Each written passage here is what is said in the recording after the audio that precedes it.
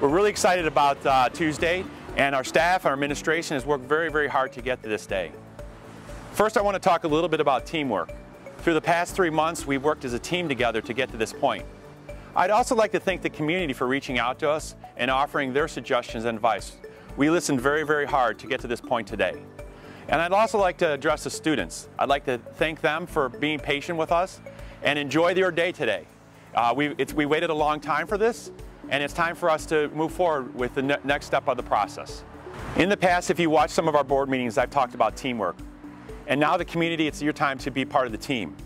So I'd ask you to review with your students before they go to class all the policies and procedures we put into place. We can be successful in this as we work as a team. If you see a teacher, thank them. They've worked very, very hard these last months, and they've pivoted many times to get to this point. And their focus is on your kids and our students. So thank you very much and have a great day.